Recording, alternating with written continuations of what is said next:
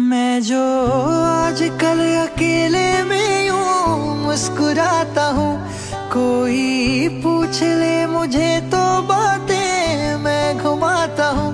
ये दुनिया पागल कहती है, आवारा बादल कहती है, हँसी चेहरे पे रहती है, ये तूने क्या किया? जब से तुझ में मैं खोया हूँ, याद ना कब मैं रोया हूँ।